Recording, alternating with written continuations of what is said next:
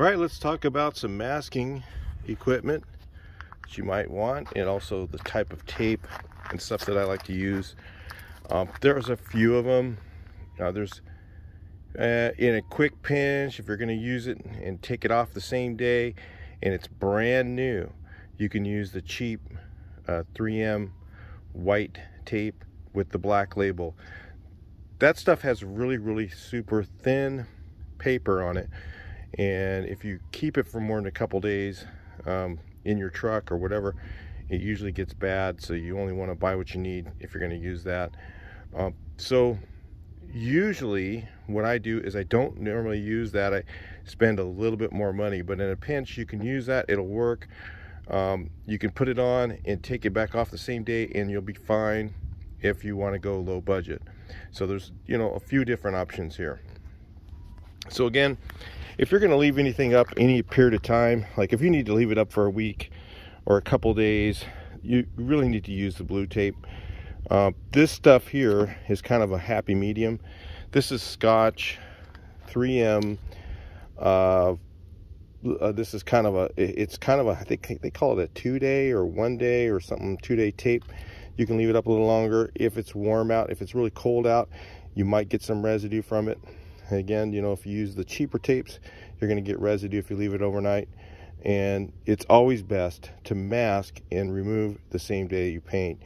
A lot of people I've seen, there's nothing worse than if you go in, I mean, yeah, you can leave it overnight, but I've seen people mask a whole house off on a Friday and leave it over the entire weekend while the customer's there and they've got, they can't see out of their windows you know, that's so disrespectful, guys. If you're doing that, you need to change your game up, you know, start masking and painting the same day.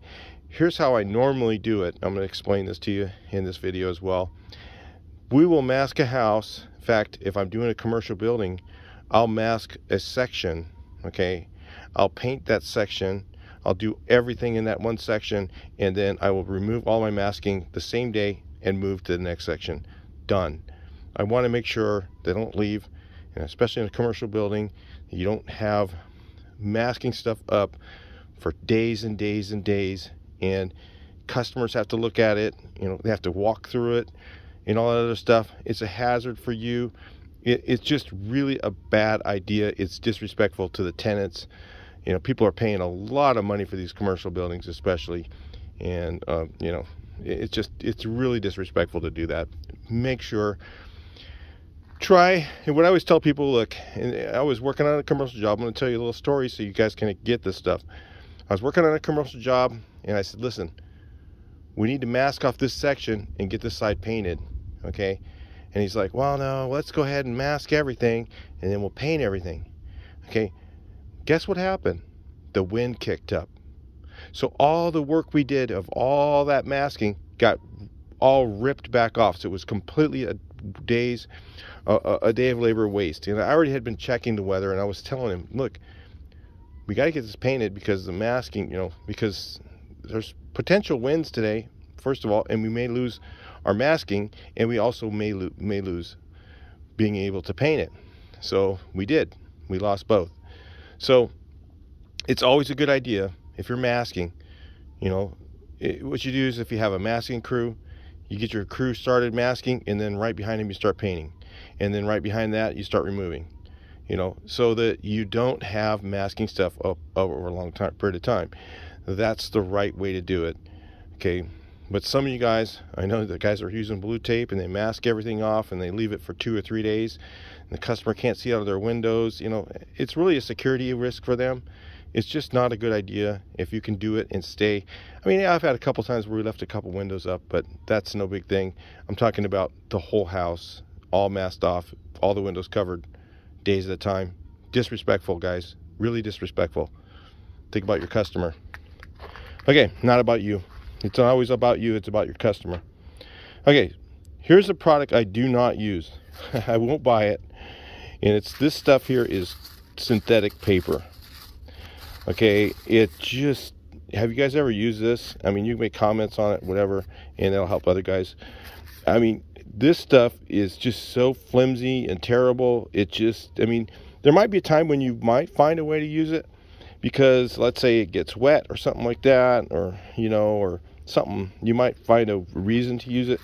But it, it they give me one of these things every year and I, I use it just to get rid of it, but I don't normally use it. And then you have your 3M hand masker. What this does is this goes on the same machine and then they have this one's a four foot section if you don't know about these. I mean almost everybody does so i'm be surprised if you didn't. Um, they have a four foot they have a six foot they have a what is it 99 inches? I don't know whatever that is.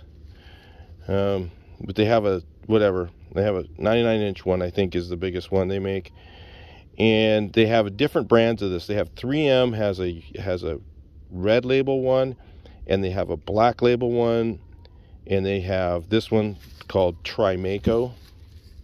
This is normally what I use because it's a little cheaper and it's a little bit thicker. So if you can see here, they're Trimaco. Okay. I usually use this because it's a little cheaper and it's a little thicker. Uh, the best stuff there is is the red 3M. So the red 3M, I don't have any of it right now. Uh, I was looking for it, and I was going to go get some roll of regular paper. On the paper issue, I use the cheapest stuff there is. I don't care. I'm not going to leave it up over two or three days. If you're using you know, like if you're doing like some sort of a high-end enamel or lacquer, you might want to get the proper paper for that. And then that might come in where you might want to use this stuff because this the paint won't soak through this. So if you're having that issue, you can use some of the synthetic stuff. Um, again, normally I don't use this. But anyway, the best one is the Red 3M. Okay, why is the best one the Red 3M? And it's the most expensive. And I don't normally use it because it doesn't. I've learned how to do a really good job with this one and, you know, not have to use it. The Red 3M, when you apply it and you open it up, it's a little windy right now, so I can't really do that um, out here where I'm at. If I was doing a window, it'd be no problem. And I could just set up a camera and do a window for you. But what I'll do is I'll use the, the Red 3M has static electricity built into it. So when you pull it down, it has more static that it makes than these. So what it'll do is it'll hold onto the glass while you're masking it. So you open it up and it'll stick to the glass really good so that you get a little bit of time to put your tape on. Now, I'm way out in the middle of nowhere. I can't go get my camera stand, so I would show you, but I'm just not right now, not where I'm at. But anyway, uh, you, I would go ahead and have that set. You could set it on the window, and it'll give you a little bit of time so you can use two hands and go ahead and mask off the uh, the around it with your tape. So your your top edge generally. Sometimes the top, sometimes you'll do the side, because the size of the window. But normally we'll do the top of the window with the masking machine. Go along here and then put this on and then pull it down and then um, pull it down and then the sides and bottom will mask with tape. So um, typically that's how it's done. A slider window you probably do from the side, you know, work over. You're going to do a little bit different on those. But on the regular windows, you're going to do the top with the masking machine, pull it down, and then the static will hold it to the window. So it gives you a little more time. So if it's your first time using one of these type of things here, one of these uh, masking machine with the uh, with the with the uh, cut uh, Visqueen on it, um, you might want to get the red stuff just so you get used to it. It'll help you learn how to do it a little bit better. The other thing that's good about the red one is the red one. Uh, it, it, some products will flake off of it. So, so like you'll have sometimes. I haven't really had that issue with this, but if you paint over it, the the you go back to repaint it or whatever, uh, you go to paint it and it flakes back off of the plastic and in certain products you're going to find that you might want to use the red one for that so those are the two benefits of the red plastic so if you if you wonder why it's more and what's in it the red plastic is better for those situations.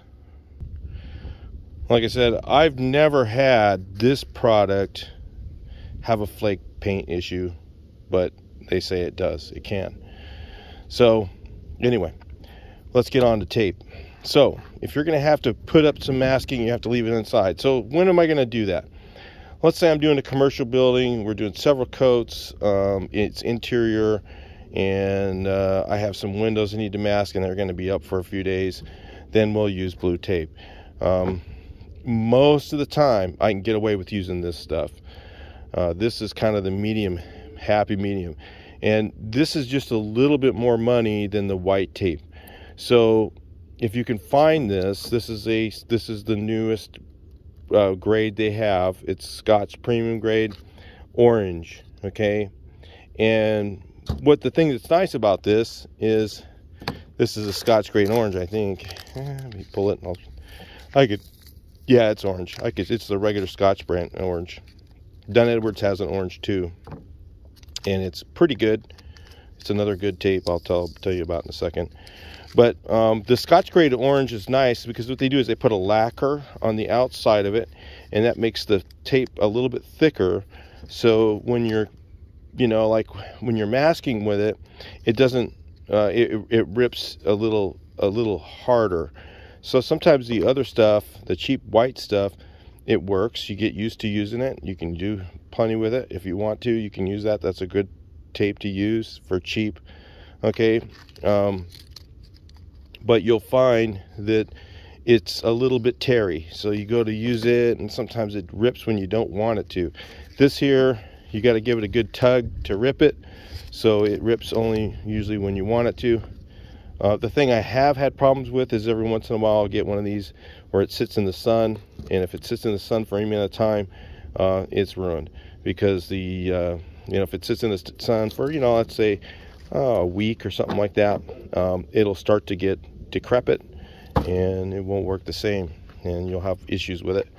It won't come off the roll nice. You know, those are issues you'll run into with tape and especially with the white stuff. If you use the white stuff, if it's outside for more than, I'd say two days, it's done. You just throw it away. It's no good. So the white stuff does not last at all if so i only if i'm using the white stuff i'll just use what i need and i'll throw it out you know and at the end of the job or whatever i just won't you know that'll be it i just buy what i what i need for that job and that's it so now they also have a blue tape with an orange inside label and if you get that one uh, that's for light stick so if you're doing graphics on a wall or something like that then that's when you're going to want to use that particular type of, type of product. Um, you will get some tape bleed with it. There's tricks to doing that.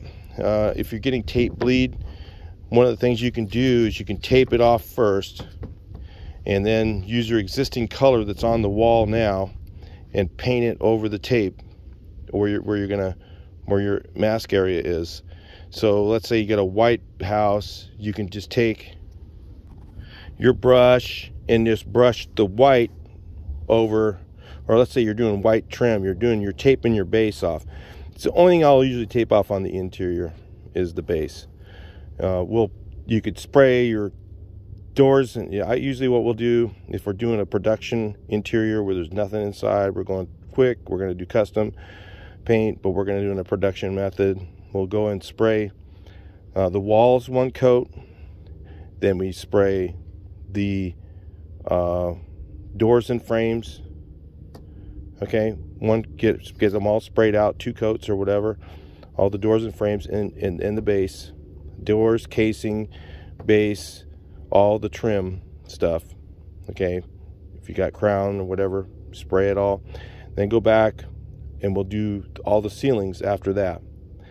And I'll tape off the crown if we're doing crown, whatever, but we'll go through and do all the ceilings and then with flat and then I always use flat on ceilings I don't use any enamel if somebody wants me to use enamel I tell them no I won't do it sorry that's all I use so I'll use it uh, flat on the ceilings and then I will go through and then tape the base the top of the base off and so if that's the thing you're doing and that's typically what guys are doing you can take your wall, your white color that you got on your base, you can use the flat or the enamel, whatever, almost you're not going to be able to see it really. Um, and then paint real quick, go through and paint the top of the tape with the wall with the base color. Okay, white, say. Paint the top of the tape white. Let that completely dry. Paint your walls, paint into your base, you pull it back off, you got a nice straight edge, no tape bleed.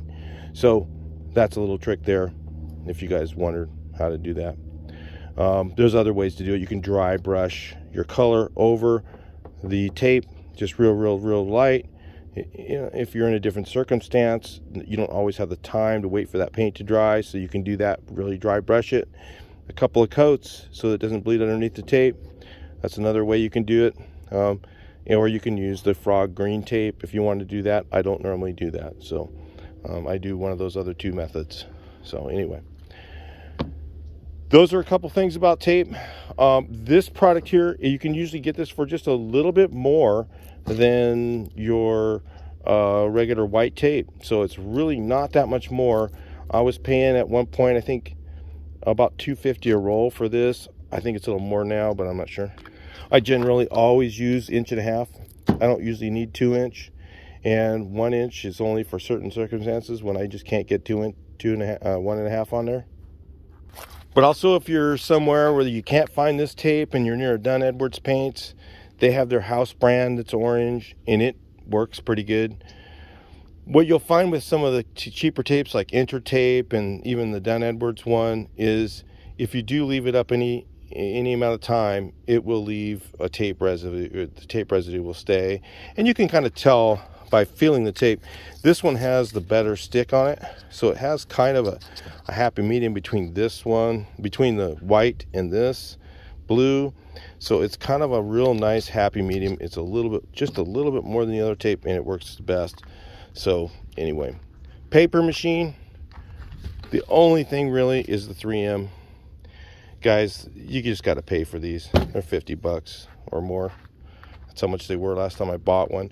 A lot of times you can find one of these deals at one of the paint stores where they have some of this stuff, the Easy Mask. They'll have the black brand in it, uh, a 3M, a box of it. Where you can get one of these, you get one of these things here, and I think you get some kind of a tape with it too. I'm not sure, but you get mostly it's uh, rolls of the 3M stuff and one of these. And at one point they were like a hundred bucks to do it that way and it was way cheaper. It was cheaper than buying it was like getting the machine for free. So they come in a box. If you find that kind of search around maybe go on the internet and look for something like that and you'll find out what i'm talking about. It's a box with a kit and it has this one and that in it. And yeah they're expensive but honestly because a lot of times there's you got to make sure it has the film blade on it of course, this has a normally has a guard on here, but uh, that guard kind of gets in the way. We end up tearing them off. Yeah, that's probably another OSHA violation. But, uh, you know, you got to do what you got to do. Those guards are a pain in the ass. So, but you'll find with the, some of the other masking machines, if you get a cheap one, uh, that you'll find the angle of this isn't very good. So I've got one of these ones that I only use for paper. Um, I thought it was going to beat the 3M deal and it was like 25 bucks. I forget the brand. But the handle is in an odd place. It's at the wrong angle so that when you go to tear it, you really need a, a heavy angle to tear this stuff uh, that's on here. And this masker is the only one that really does it. So you just got to pay 3M their money. That's what you got to do. So anyway, two inch, one and a half inch tape is what I use. Orange, mostly regular paper, not this garbage. And I use the Trimaco product there, and I've gotten used to using it. But like I said, if you're brand new or whatever, try the red stuff first and get used to that, and then switch over to using this. Because then you'll see, um, you'll pay an extra money for that, but you'll get the hang of how it, how this stuff works and you'll get better at holding like with your elbow the corner down while you're trying to mask it versus you know you know because you don't have to do that with the red it'll just stay on the window which you'll find that to be a nice benefit in some areas. But then you start getting tired of paying for it, so you figure out ways to make the other stuff work. So anyway, that's what I've always done. I'll talk to you guys in the next video. It's kind of long one, but uh, please like, share, and subscribe. Let's hope it helps you with your job.